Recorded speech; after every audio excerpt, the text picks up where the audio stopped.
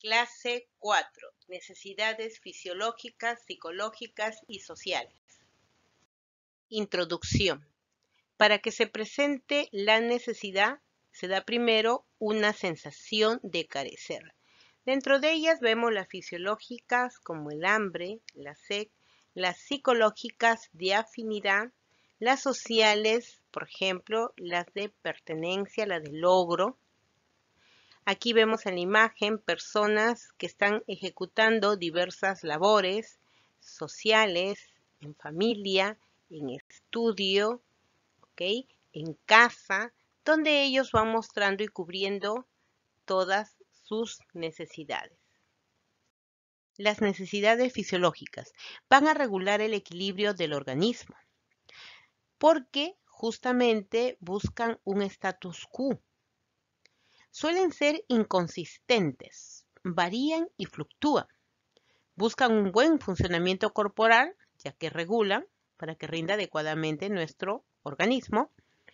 Considera al sistema de regulación un aspecto sumamente muy importante y tiene que ver mucho con la demanda orgánica que presenta el sujeto en determinado momento.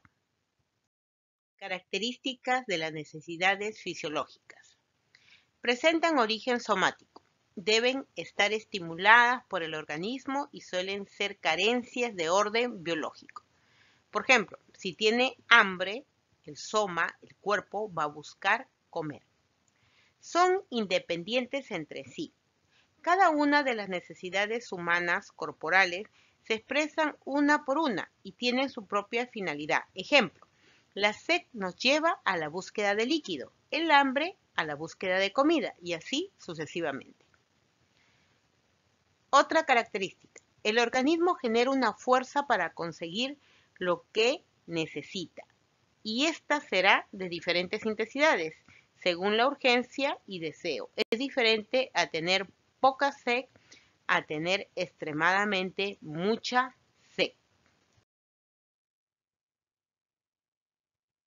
son ilimitadas en cuanto a número. A medida que se van satisfaciendo estas necesidades, van surgiendo nuevas necesidades. Pueden presentarse muchas necesidades a la vez. Por ejemplo, una señorita puede haberse amanecido haciendo su trabajo y tiene sueño y tiene hambre. Son ilimitadas en cuanto a número. Pueden presentarse muchas a la vez. Son limitadas en capacidad. Cuando el hombre satisface completamente sus necesidades llegando a un tope o saturación, ya no existe el deseo o la motivación. Como vemos en la imagen, la señorita ya comió, ya ha satisfecho la necesidad de alimentarse, entonces ya no tiene más hambre. Y por más que le pongan un plato favorito de comida, ya no va a querer comer. Son concurrentes o excluyentes. Cuando se presentan dos o más necesidades al mismo tiempo, y como no es posible satisfacerlas en forma simultánea, entonces el sujeto va a priorizar la más urgente. En la imagen también vemos que el sujeto tiene sed y tiene hambre, pero la que va a priorizar es el tomar agua, cubrir la necesidad de sed y después comerá, porque la sed es lo que se prioriza comúnmente. Otras Características. Son complementarias las necesidades básicas con las secundarias. Se dan cuando la satisfacción de una necesidad implica forzosamente la satisfacción de otras que son indispensables para la primera. Por ejemplo, como vemos en la imagen. La necesidad de alimentarse implica la necesidad de contar, por ejemplo, con platos, cubiertos, vasos, etc. Están complementando de modo secundario, la necesidad básica de alimentarse. Otra característica, pueden ser sustituidas unas por otras, puesto que hay diversas formas de satisfacer una necesidad. En la imagen vemos una señorita que llega a su casa, pero ella tiene mucha sed y no tiene agua para tomar de modo inmediato, entonces ella simplemente se acerca a su frutero, coge una naranja, lo parte por la mitad y toma el jugo de la naranja que ha partido. Otra característica, tienden a fijarse, porque una vez satisfecha una necesidad que antes no teníamos, se puede convertir en un hábito o costumbre en nuestra vida venidera o diaria. Por ejemplo, personas que no tenían la costumbre y ahora sí la tienen de tomar bastante agua, por ejemplo, el tomar mínimo 4 litros de agua diario, esa necesidad tiende a fijarse. La persona siempre tiene sed y siempre está tomando agua. Presentamos ahora el modelo de la secuencia necesidad, pulsión, conducta. Primero se presenta un estado de saciedad, se da un desarrollo gradual de la privación fisiológica, la privación fisiológica prolongada origina necesidad corporal, luego la necesidad se intensifica y surge una pulsión psicológica, la conducta motivada como un intento para satisfacer la pulsión se da. Posteriormente, la conducta consumatoria se establece y se da la reducción al término de la pulsión. Ejemplo del modelo de secuencia, necesidad, pulsión y conducta. Primero se presenta el estado de saciedad. Sofía a las 7 de la mañana toma su desayuno y ya no tiene sed ni hambre. Segundo, desarrollo gradual de privación fisiológica. Siendo la una de la tarde, empieza a sentir hambre y solo tiene una botella de agua. Tercer paso, privación fisiológica prolongada que origina la necesidad corporal. Entonces ella se va a trabajar y siendo las 3 de la tarde tiene mucha hambre, pero no puede almorzar, ya que tiene mucho trabajo. Cuarto paso, la necesidad se intensifica y surge una pulsión psicológica, es decir, empieza a pensar. Son las 7 de la noche y solo piensa en comer algo y ya no puede concentrarse en el trabajo. Quinto paso, conducta motivada como intento para satisfacer la pulsión. Sofía se dirige a las 9 de la noche al restaurante que está fuera de su trabajo y pide una cena. Sexto paso, conducta consumatoria. Le traen un saltado de pollo y empieza a comer. Séptimo paso, reducción de la pulsión. Termina de comer y Sofía sacia su apetito. Necesidades psicológicas. Se presenta la naturaleza cualitativa distinta a la fisiológica, son proactivas, se presenta la necesidad de crecimiento, motivan a la exploración y se establece búsqueda de retos. En las necesidades psicológicas encontramos a la autodeterminación, que ratifica el proceso de conducta, es decir, la persona por sí mismo determina hacer cosas.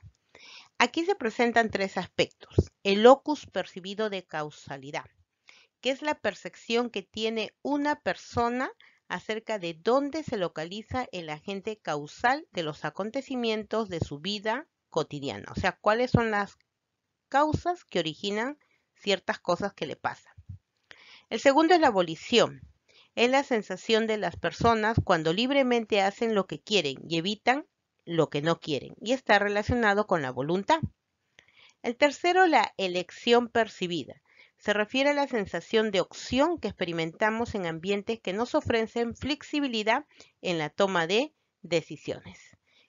Cada uno elige como desea sus decisiones. Por eso dice elección percibida. La competencia es la necesidad psicológica de eficacia en las interacciones con el ambiente y refleja el deseo de ejercer las propias capacidades y habilidades y al hacerlo busca dominar desafíos de manera óptima. En la competencia el sujeto busca dominar la interacción con su medio ambiente. Por, por la misma relación que tiene con otras personas se presenta ya un reforzamiento positivo y el sujeto puede evaluar los progresos que va teniendo. El gregarismo es una relación intraespecífica, pertenecen a la misma especie, que se da cuando los individuos de una población se asocian y trabajan juntos para conseguir un objetivo en común y poder sentirse bien. Aquí se ven dos tipos de relaciones, las relaciones comunales y las relaciones de intercambio. Las relaciones comunales se dan entre personas que se interesan por el bienestar del otro. Ambas partes tienen la obligación de apoyar el bienestar del otro. Solo las relaciones comunales satisfacen la necesidad de afinidad mientras que las relaciones de intercambio solo se dan entre personas que hacen negocios No existe obligación alguna entre quienes interactúan de preocuparse por las necesidades o bienestar del otro. Es como un tipo de transacción. La afinidad es la necesidad psicológica de establecer lazos y vínculos emocionales y cercanos con otras personas y refleja el deseo de estar emocionalmente conectado o interpersonalmente involucrado en relaciones cálidas. Aquí se ven dentro de esos lazos el interés por el bienestar del otro, el afecto y con todo ello disminuye la soledad en la persona, ya que siempre tiene personas a su lado. Las necesidades sociales son procesos psicológicos adquiridos porque son aprendidos. La interacción de las personas propicia la socialización. Por lo tanto, en esa interacción se van a presentar respuestas emocionales de cada uno de los integrantes del grupo. A su vez, esto demuestra que se da un incentivo específico de acuerdo a la situación y todas ellas motivan la conducta humana.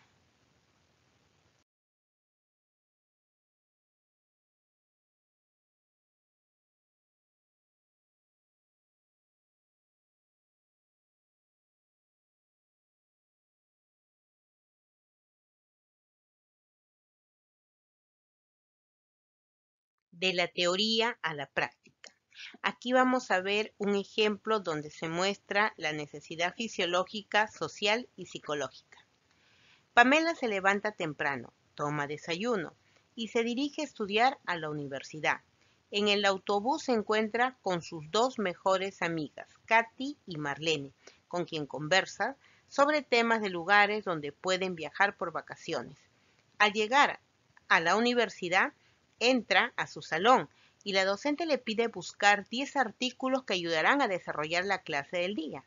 Entonces Pamela se muestra competitiva frente a los demás y demuestra que puede encontrar los 10 artículos en tiempo récord con diversas aplicaciones. Como verán, ahí se presentan las tres necesidades, fisiológica, social y psicológica, y cada uno está de un color diferente para que las puedan identificar. Conclusiones. Necesidades. Necesidades fisiológicas. Regulan el equilibrio y tienen demanda orgánica. Necesidades psicológicas.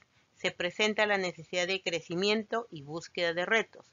Necesidades sociales. Propicia la socialización, la interacción entre las personas y se dan por incentivos específicos.